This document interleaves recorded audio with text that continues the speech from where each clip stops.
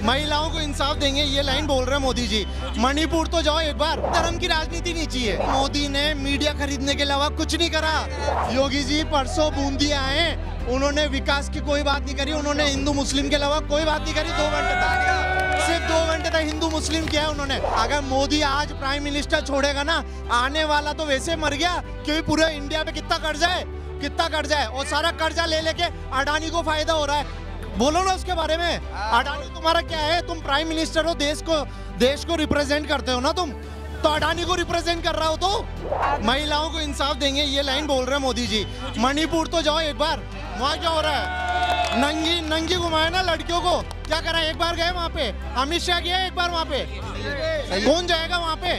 आप यहाँ पे महिलाओं को इंसाफ दे रहे हो वहाँ दो ना पहले। पहले मणिपुर में हो रहा है वो तो देखो। मणिपुर तो जाओ। यहाँ अशोक गहलोत कर रहा है ना उसके लिए लड़ाई तो कर रहा है ना खड़ा तो है ना।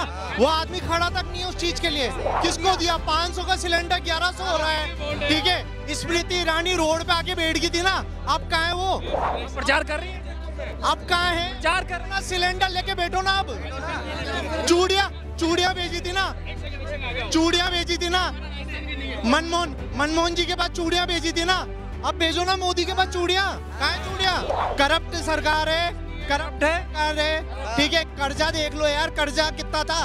पैंसठ साल में जितना कर्जा था उससे चार गुना कर्जा दस साल में कर चुके हैं ये। सोचो तो सही। ये भी तो कह रहे हैं कि भारत का नाम दुनिया में बच गया डंका बच कहा? किस चीज़ में? किस चीज़ में? मेरा साला यूक्रेन में पड़ता है। ठीक है इन्होंने बोला सबसे पहले लेके आओ युद्ध रुका दिया। कुछ नहीं रुकाया सबसे बाद में गया इंडिया लेने।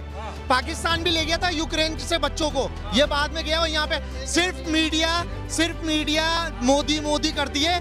क्योंकि उसका पैसा सारा उसी पे जाता है। यार, मुझे ये बताओ, चाय वाला देश संभाल संभाल सकता है क्या?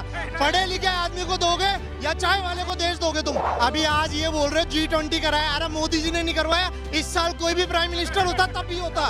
तब भी होता जी ट्वेंटी यहाँ पे। ठीक है जी ट्वेंटी की बेइज्जती कराई है मोदी ने, और कुछ भी नहीं करा। हम अशोक गहलोत को या सचिन पायलट को चाहते हैं। बात खत्म।